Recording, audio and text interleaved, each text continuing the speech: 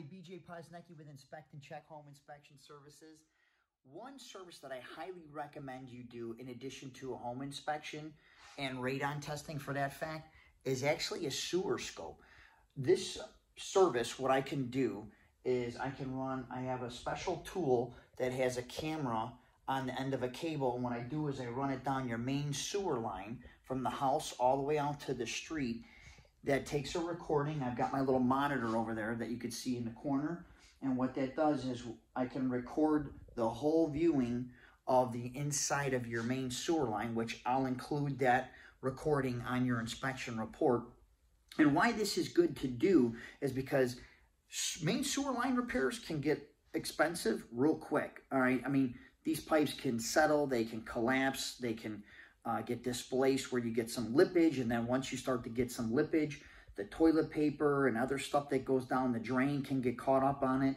So requiring, you know, hopefully if it's just that, all it is is it just needs a cleaning, which you can do a, a hydrojetting by a plumber and just clean it out. And it's like a power washing process for the inside of the pipe. That's that's always a, a good, uh, always a good worst case scenario. But Plumbing repairs can get expensive real quick. I've seen stuff in the thousands and tens of thousands, depending on how long the line is from the house to the street. So the next time you're getting a home inspection, whether it's with us or somebody else, ask ask them if they can do a, a sewer camera scope. It's it's de it's definitely worth you know the three to four hundred dollars that they charge to get it done, just so you know what you're looking at. Okay, and I'll do a little. I'll show you a little video video footage of this particular uh, house that we're doing right here. What I'll do is I'll start off and kind of pan the room just so people can see. Hey, there's me. Hey, how you doing? BJ Poznecki from Inspect-N-Check.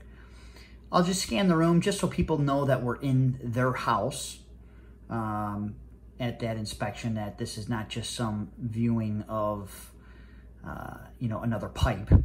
And um, as we go down here. This particular house, I happen to know there's a clean out outside. So there's going to be PVC, you know, up to that clean out and then it'll transition over to the uh, green pipe. Now this is a, a newer house. A lot of the older houses here in Chicago will have cast iron through the house and then transition to clay tile. Um, so it'll be a, a, a different uh, you know, this is nice and clean, it's brand new.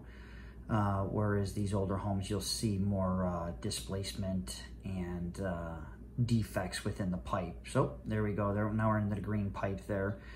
And, uh, you know, in this service, you know, we'll do the best. I will do the absolute best I can. The more bends there are or displacement in between pipe joints, uh, if there's a little bit of a lip, the sewer camera cable will start to drag on each lip. So there gets to a point where there's, you know, if there's a lot of bends and a lot of lippage, you know, I can only go so far. The goal is to get all the way out to the city sewer main, which I'm going to go ahead and just jump to that right here because this is a, an extremely long pipe, so I'm not going to bore you with it. Fast forward down the pipe, and here we are coming right into the sewer.